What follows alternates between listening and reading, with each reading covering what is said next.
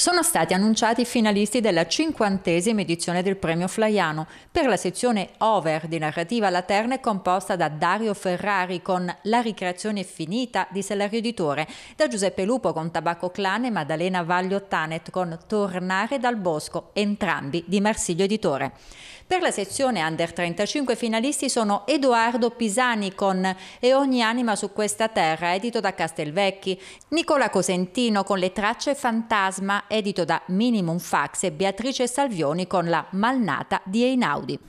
La giuria ha rilevato come eh, questi giovani scrittori provengano già dal mondo della letteratura. Molti sono dottorandi, insegnanti e persone che comunque lavorano nell'ambito, come dicevo, della letteratura, quindi diciamo un po' il germe della narrativa sta, si sta anche modificando.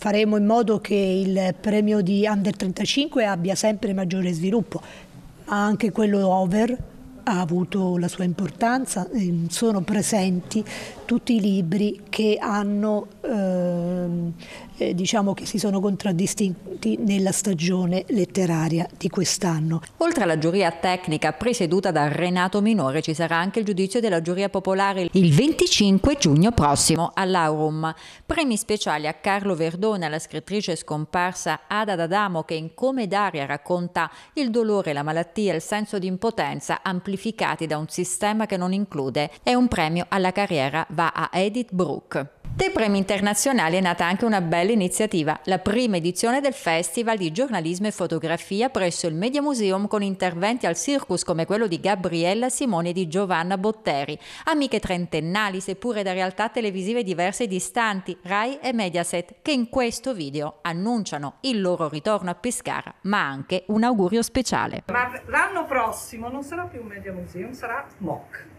Quindi sì, questo sarà un bellissimo posto pieno di cultura, di cinema, ma non solo. Sì, però Perché il problema... è la città di Flaiano. Sì, non solo. Non solo. Pescara. Sai che hanno una cosa tipo la macchina da scrivere di John Fante? Sì, ho capito, però il problema è che li vedi come sono gli scalini, sì. vedi come siamo messi, lo vedi? Sì. Perché qui bisogna sbrigarci, perché l'anno prossimo quando torniamo deve essere tutto pronto. Tu non potrai essere vestita così. No, infatti.